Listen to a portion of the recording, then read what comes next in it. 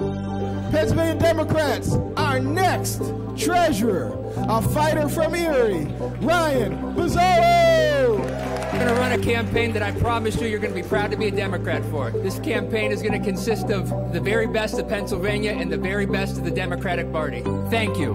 Our next treasurer, a fighter from Erie, Ryan